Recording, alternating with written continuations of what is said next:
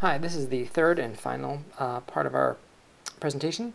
Um, we're going to take a MagicaVoxel model and we'll convert that into OBJ file and then load that in our browser.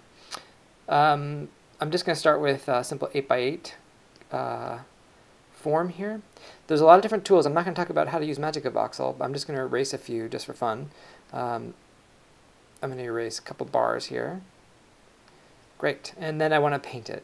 So I'll switch from erase to paint. I'll pick a very bright color, a nice yellow. Uh, I'll make this side yellow. Okay, great. That's a pretty simple shape, recognizable. We'll load um, that into our Java script uh, just as soon as we export it. So we're going to export. So file, export as usual, OBJ file.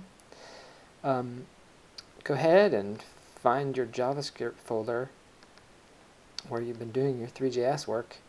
Uh, here it is. And we'll just call it demo2. And I will just show you, um, and you're done basically. We'll look at uh, our web page, and boom, there's our new, there's our new uh, shape, our new object file. I actually did one thing behind the scenes. I actually changed um, our JavaScript to point to demo2.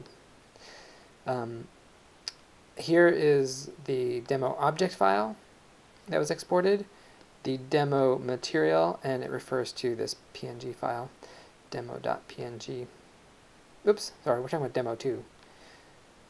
Anyway, demo 2 has demo2.png, which is uh, just a bunch of, it's just a line actually of colors. Okay, I hope that was informative. Good luck.